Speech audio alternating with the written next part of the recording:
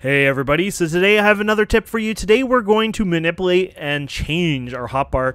Uh, many of you might not know this, uh, many in our company didn't know this, including me, so let's go ahead and give you a bit of a rundown on how to change your hotbar. So we're going to hit the tab here, we're going to go down to our hotbar. So first of all, I never like these icons. They're too big, they're in my way, blah blah blah. I never like where my stamina is, especially when I'm doing the research here, uh, when I'm crafting, it kind of clips through that a bit.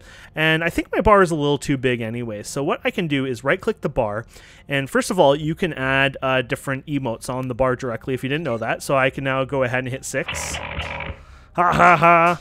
I'm so excited because about this. And we can clear the slot if you didn't know that. And there's also an edit mode here. Now you might have two other bars here. I deleted mine, but what you can do is right click anywhere and add a new bar. And this bar, you can actually go ahead and change the scale of it you want. And you can go here and add another emote. So we can put giggle in this. and you can actually go ahead set uh, quick bar hotkey so that would switch to that hotbar. You can also do uh, slot hotkey. Uh, you can also go crazy and increase uh, decrease the scale here and then increase the amount of buttons you have to probably more than I've seen even in WoW before. Uh, so there you go. Look at all that. So if somebody was bored enough, they could literally set each one of these with an emote or something just to be silly. But uh, I'm not that bored, so I'll leave that to somebody else to do. But that is the power of this. And there's even a hide delay here, so you know if the bar hides and disappears on people. If you want to fix that or increase it, you can do that quite a bit here. So that's pretty cool. So let's set it to 10. And um, let's put it to a scale of Let's do a scale of mm, 85, I like, actually. Cool. And then let's go ahead and take these guys. We can shrink these guys. Those are those icons that I don't really use anyways. These are your research and crafting, but we use the hotkeys.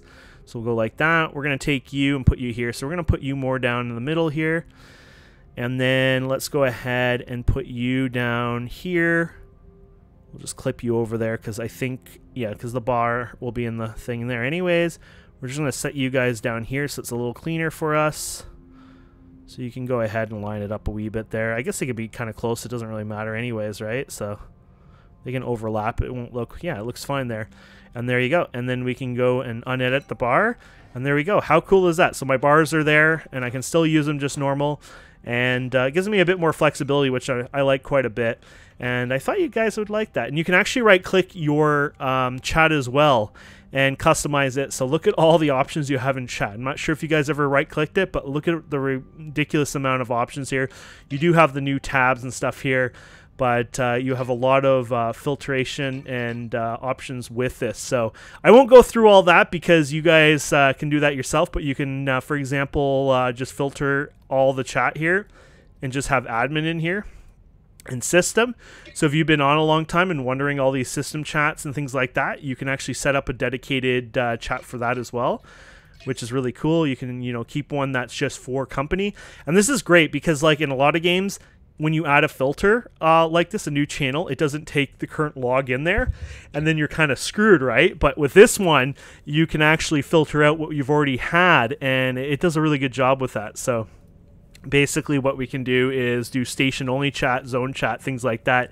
And it's just it's really good uh, for that. You can do just company chat here and so, for you guys like me who record, maybe later on your company's at war, or there's some things that maybe you don't want to share with everyone. When I do my videos, for example, I can now take company off my general chat and just hide that for privacy reasons if that was needed. And uh, yeah, so that's pretty cool. I, I really, really like that. So, lots of UI customization. You just have to realize you can right click.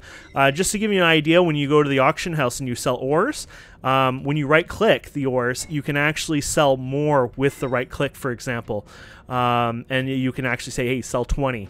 Um, so basically keep in mind that right click doesn't exist for quite a few things not everything and the ui is actually very work in progress keep that in mind as well there's going to be a huge overhaul in the inventory system in hopefully in a couple of months or so but uh, anyways just some tips there for you guys to customize your game your chat your your, your hot bars and all that and uh, yeah, thank you so much for watching. Please don't forget to subscribe, comment, like, and we'll see wonderful people next time. Have a wonderful day. Goodbye.